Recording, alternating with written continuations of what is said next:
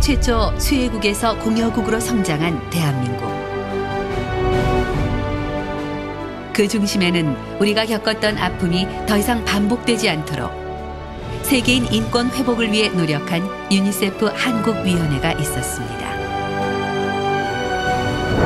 1950년부터 1993년까지 글로벌 유니세프가 한국에 지원한 약 2,300만 불. 그들의 손길은 우리에게 꿈꿀 수 있는 기회를 주었고 우리는 성장의 꿈을 이룰 수 있었습니다.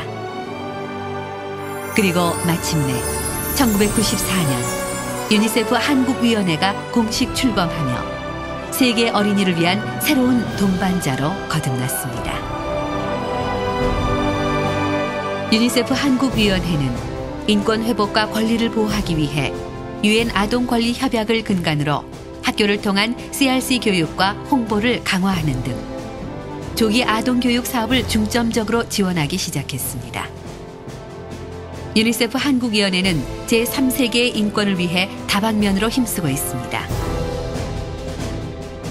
영유아 생존과 발달 사업, 기초교육과 성평등 사업, 에이즈 사업, 어린이 보호 사업, 아동 권리 협약 이행 촉구 등 함께 지켜야 할 당연하고 소중한 가치인 인권 보호의 뜻을 앞세우고 있습니다.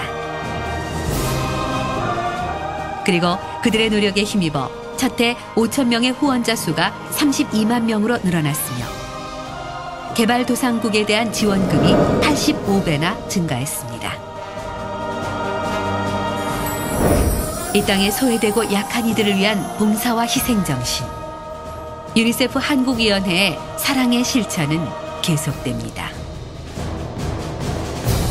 1989년 유엔 총회가 채택한 유엔 아동 권리 협약에 의하면 이 세상에 태어난 모든 어린이는 인종과 국적과 성별에 관계없이 네 가지 기본 권리를 누려야 된다고 돼 있어요. 그게 말하자면 생존의 권리, 살아남을 권리죠. 일단 태어난 어린이는 두 번째는 발달할 권리입니다. 뭐 학교에 가서 공부하거나 놀이를 통해서 발달할 권리. 세 번째는 모든 위해한 환경으로부터 보호받을 권리예요.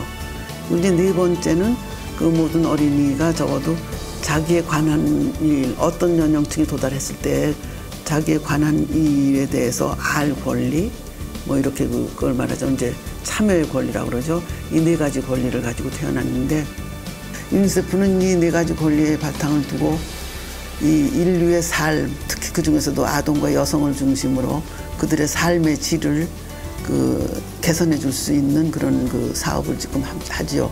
그 표가 바로 모든 어린이가 살기 좋은 세상입니다.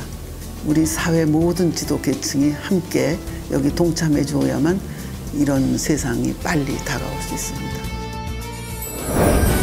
인권 회복을 위한 위대한 실천 정신. 유니세프 한국위원회의 따뜻한 손길이 세상 구석구석까지 전해지기를 소망합니다.